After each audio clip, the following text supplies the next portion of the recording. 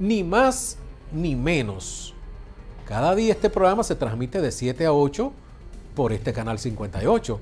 Pero aquí, martes y jueves, tenemos a Ramón Arturo Méndez Zarzuela compartiendo sus comentarios, sus opiniones. Buenas tardes, señor. Buenas tardes, Nicolás, eh, Luis Fernando, a todo el equipo técnico que hace posible este espacio y a ustedes que son el motivo de la existencia de este medio.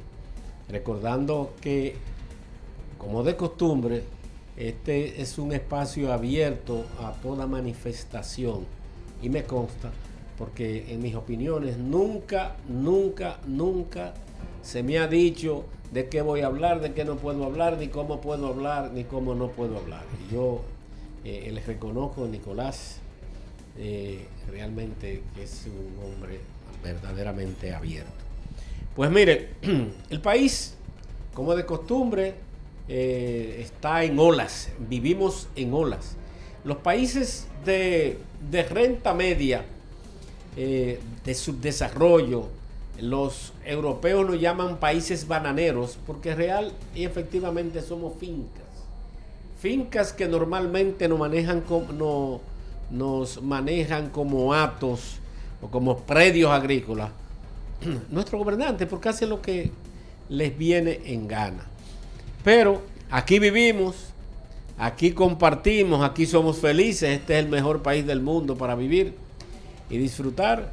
Tenemos eh, plena libertad todavía y eso hay que tratar de preservarlo. Solamente hay limitaciones por de aspectos de, de inseguridades que se dan en todas latitudes y aquí realmente se están dando. Pero una de las cosas que pudiera limitar también el accionar de cada uno de nosotros es el contagio con el COVID. Señores, hay COVID, de nuevo, eh, está, se están dando muchos casos de COVID, manifiesto, según el Ministerio de Salud, Salud Pública, que en estas latitudes es un tanto dado a ocultar cifras, pero los reportes dicen que hay muchas manifestaciones. El último reporte de COVID en el país evidenció un incremento de los contagios en el registro de 109 casos en la última semana, 126 activos y la posibilidad, la positividad asciende a un 15%, ya tenemos un 15%.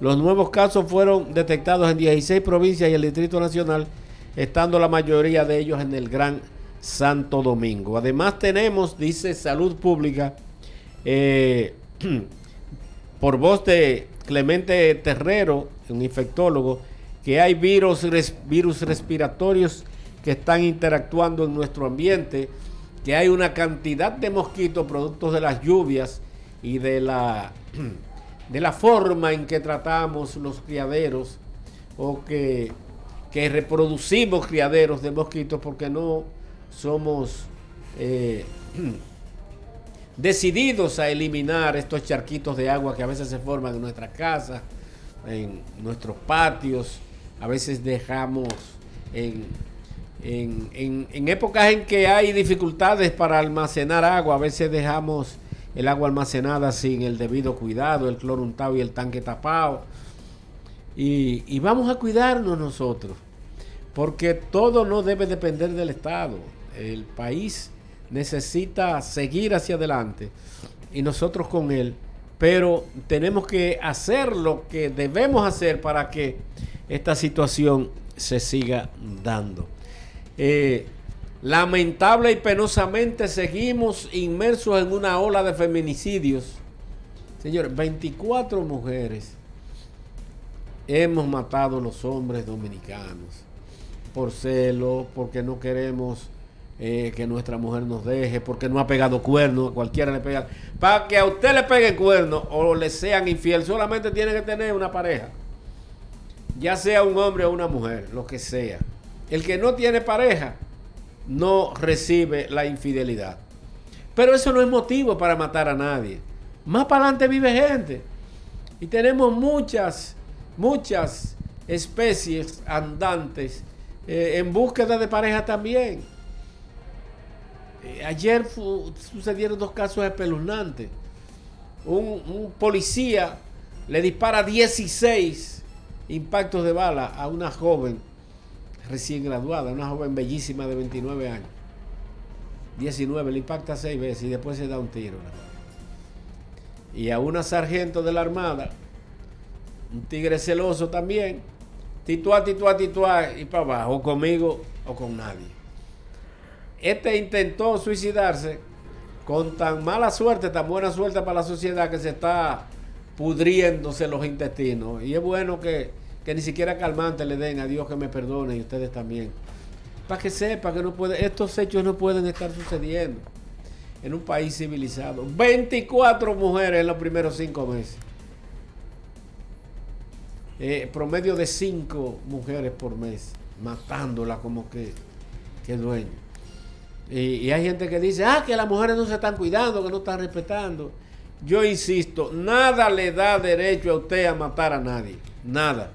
A no ser que sea porque hay una excusa razonable y legal, la excusa de la defensa propia, la legítima excusa de la defensa propia o la legal excusa de la defensa propia. Si usted me va a matar a mí con un cuchillo, con un machete, con una pistola y yo puedo resolverle antes, pues le resuelvo. Pero una pobre mujer que decidió que no quiere seguir compartiendo su vida con usted, más para adelante vive gente.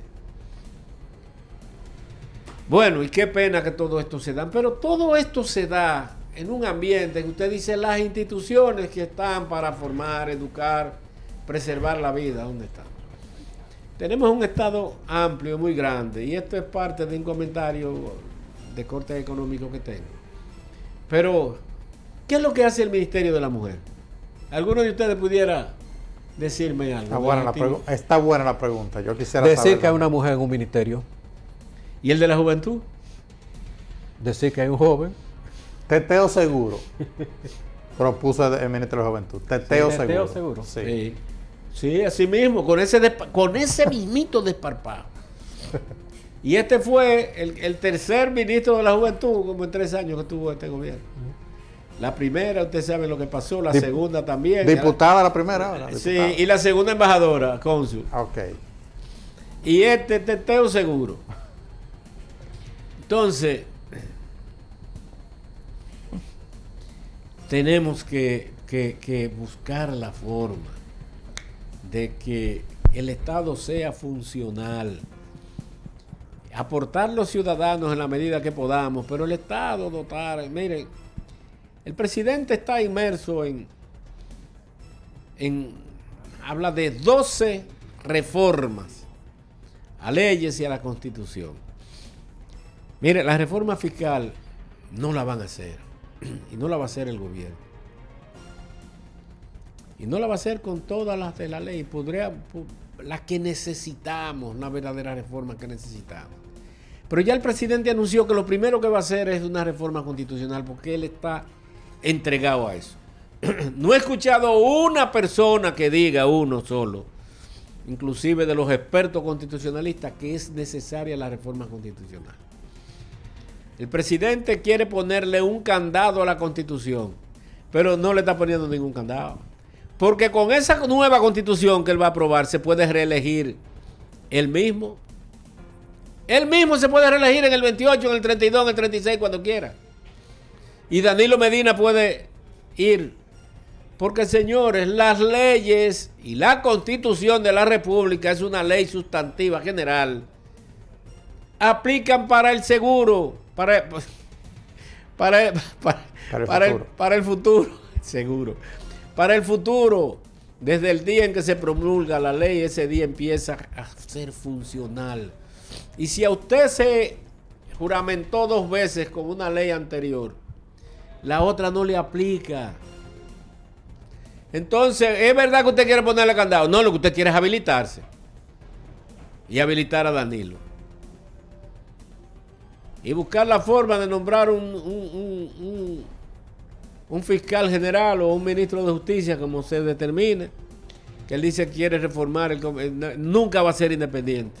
No es verdad que ningún fiscal del mundo es independiente, ninguno. Todos dependen, todos en todas partes del mundo, en Estados Unidos, en Francia, en Alemania, en Inglaterra, en todos los países desarrollados dependen de un decreto y ahí deja de ser independiente. Como no lo ha sido este Ministerio Público Independiente. Eso es mentira. Al contrario, se hacen los suecos. Por ejemplo, eh, ¿qué ha hecho Miriam Germán, la ministra? Que, que no debió aceptar ese cargo nunca. Si era para actuar de la forma que ha actuado. Porque se le ha pasado esos tres años y medio, cuatro años durmiendo. Durmiendo.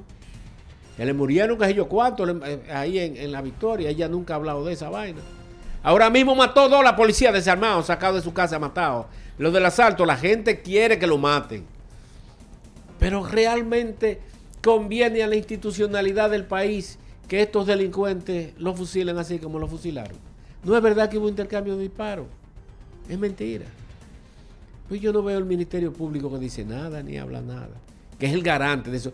Porque la policía no es jefe, eh, ah, que la policía que investiga, no, la policía no es quien investiga. La policía es un auxiliar en la investigación. Auxiliar en la investigación. Y eso no lo digo yo, eso lo dicen las leyes. Entonces, hay reformas que son necesarias, muy necesarias. Ya se, ahora se habla de que la reforma eh, tributaria, yo tengo unas cuantas que pensando y hablando pendejada con mis humildes conocimientos, lo escribí porque eh, el alemán este es un tipo que, que traiciona. Y no me diga que lo borré. Entonces yo escribí las reformas pendientes, que yo entiendo que son pendientes, que el PLD nunca quiso hacerla, que debió hacerla, debió reformar el Estado porque la concepción del PLD fue fortalecer el Estado de Derecho, la institucionalidad como forma de crear las herramientas necesarias a la población para que liberara totalmente, para que complementara la liberación que nos dio Juan Pablo Duarte, que creó un Estado libre y soberano de derecho, pero le faltaron herramientas para consolidar la liberación y que este Estado no dependiera de nadie más. Y eso no lo hizo el PLD. Se pasó 20 años rumiando. Ah, que hizo algunas cosas, sí. Ah, cartera, avenida, muchas cosas. Institucionalmente hizo poco. Mejoró algunas cositas muy paulatinamente. ¿Y qué quedó pendiente? Por ejemplo, la reforma fiscal. Y es, verdad que es necesaria la reforma fiscal. Ah, pero los partidos ahora, Lionel, la Fuerza del Pueblo y el PLD dicen que le haga el presidente. Porque eso era lo que decía Luis Abinader antes, en la oposición, cuando se le invitaba.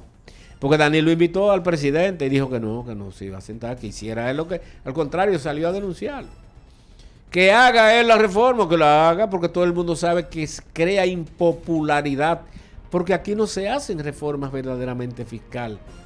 Eh, completa, íntegra, integral, eh, progresiva, que es como debe ser, que el que más produce sea el que más pague, que el que no tiene que pagar el pobre no puede estar pagando impuestos por una libra de arroz y de habichuela y, un, litro de leche. Una reforma eh, eh, necesaria, fiscal, integral, es necesaria para reducir la dependencia, aumentar la inversión los gastos de inversión, señores, nosotros eh, invertimos más en educación. O sea, gastamos porque no invertimos en educación. Estamos gastando 290 mil millones de pesos. Y estamos invirtiendo, óigame, en, en gastos de inversión, gastos de capital, lo que son las inversiones públicas, carreteras, escuelas, menos del 3% del PIB alrededor del 2.5% del PIB estamos invirtiendo. 170 mil pesos lo más que ha invertido este gobierno eh, por año en, inversión. Usted dice, no tenemos que invertir, pero tenemos para gastar en otras cosas. Entonces, para poder lograr las inversiones que necesitamos, necesitamos aumentar la presión tributaria. Ahora, eso no quiere decir que a usted, que gana 20 mil pesos, le van a aumentar los impuestos ni el costo de la vida. Eso quiere decir que se van a reducir las exenciones fiscales, que se va a reducir la evasión fiscal, que se va a reducir la ilusión fiscal. Es bueno que sepamos que la ilusión fiscal no es ilegal. El que elude, buscas debilidades que tiene la ley y hay, perdón, expertos en eso y, busca, pero se puede reducir como mejorando la legislación. Entonces, para amortiguar la pobreza y, y, y mejorarlo, tenemos que mejorar los ingresos del gobierno y la calidad del gasto, naturalmente. No puede seguirse gastando en lo que le da la gana.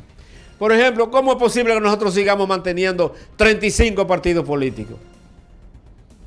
30 de los cuales, mínimo, mínimo 30 de los cuales, eh, lo que sirven es de bisagra para vendérselo al mejor postor. No sirven para nada. Para nada sirven, para, para que nosotros le demos dinero. El código laboral, señores. Cuando se aprobó eh, eh, el código laboral que tenemos, quedó pendiente reforma al código laboral. Pero también, ligado a eso, la, reforma a la ley de seguridad social complementa con la seguridad laboral que tiene que haber un seguro de desempleo, lo que los norteamericanos y muchos dominicanos residentes en Estados Unidos le llaman el employment, que a usted lo cesa de un trabajo y hay un seguro que le da un porcentaje del salario por un tiempo definido. Eso es un seguro de desempleo. Y eso tiene que llevarse porque evita una doble tributación. Y es una carga. Ahora, usted no le puede quitar a los trabajadores el derecho a la indemnización cuando es cancelado, porque ese es el ahorro que tiene el trabajador. El trabajador dura 10 años trabaja, eh, como empleado, al cabo del tiempo eh, lo liquidan, hay un derecho de cesantía, preaviso y esos, esos asuntos que establece la ley laboral. Y bueno, y el hombre se va con 5, 6, 7, 8, 10 mil pesos, le permite comer un mes. Pero ese es el ahorro. No se lo puede quitar si no se le garantiza un seguro de desempleo. La ley de responsabilidad fiscal es básica y fundamental para el desarrollo porque organiza la, la, las leyes fiscales, obliga a los que están obligados a la, a la responsabilidad fiscal, pero obliga también a los que gastan nuestro dinero a no hacerlo en lo que le da la gana. La ley de seguridad social, eso hay que, hay que, hay que reformarla ya. Hay que reformarla ya completa. No hay forma de que sigamos transitando por los caminos que vamos con esa ley de seguridad social. El sector eléctrico se traga 1.500 millones de dólares todos los años que se van. Cerca de 90 mil millones de pesos se van a un saco sin fondo que se llama el sector eléctrico. Hay que hacer una reforma al sistema eléctrico. Eh, señores, lo que estábamos hablando ahorita, el Ministerio de la Mujer, el Ministerio de Educación, de hay que hacer una reforma a la conformación del Estado. Aquí hay Instituto de la Aguja, aquí hay un, un, sitio que se llama Instituto de la Aguja y el Dedal. Inaguja. Inaguja. Sí. Y tiene un presupuesto. Y hay una presupuesto, y hay una dirección que se llama Dirección de. de del coco. De, de todo, de, de todo. Y la siguen creando. Sí. Una barbaridad. Pero ya, ahora hay propuesta de un ministerio de la diáspora también. Otro ministerio. Usted sabe lo que significa eso. Por Dios, por Dios. ¿Para qué nos sirve a nosotros el, el Ministerio de Medio Ambiente? Funcionaba más cuando era Dirección General de Foresta, adscrito a la Secretaría de Agricultura, al Ministerio de Agricultura. Entonces, tenemos que reformar el Estado, porque hay mucha... Mire, el, gobierno de Luis Abinader eh, anuló la OISOE, CORDE y el CEA. Pero tenemos que seguir fu funcionando a pesar de que creó el Ministerio de la Vivienda en sustitución de la OISOE supóngase que está bien, que no entiendo qué es, porque ¿qué es lo que es obra pública? ¿Obra pública qué es? Se puede circunscribir todo eso en un ministerio con direcciones.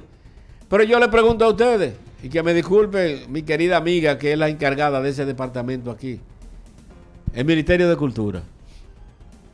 Bueno. Hay muchos asesores que tiene. Muchos. 18 y 20, eso es otra vaina. Otra cosa, ya por asunto de tiempo. Pero el, Ministerio de Educación paga 21 millones de pesos. El director del gabinete social, Tony Peña Hueva, tiene 18 asesores el que menos gana gana 180 mil. Pero el de la Optic, este señor que era de la. Dice un amigo mío, eso es lo que era la de la banda colorada. Pujols. Pujol. Tiene 12 asesores y el salario más bajito de 150 mil. Entonces, presidente, vamos a resolver toda esa vaina para que la gente eh, le diga que a la reforma fiscal que sí, porque por eso es que nadie quiere saber de la reforma fiscal. Yo entiendo que es eminentemente necesario y que no se puede postergar. Esas reformas que yo enumerado y que me han salido de la cabeza y que he ido eh, aglutinando. Ahora, ¿qué yo no entiendo necesario? Mi humilde opinión. La reforma constitucional. Eso es lo que nos va a meter en un brejete y va a crear más animadversión para las reformas que realmente hay que hacer. Gracias por soportarme, buen provecho. A las 7 de la noche, Luis Fernando Guzmán, ni más ni menos. Buenas El mejor equipo de la televisión te espera cada día de 12 a 2. Acceso sin límites por el canal 58 de Televiaducto es simplemente incomparable. En J Productora, marcando la pauta a seguir.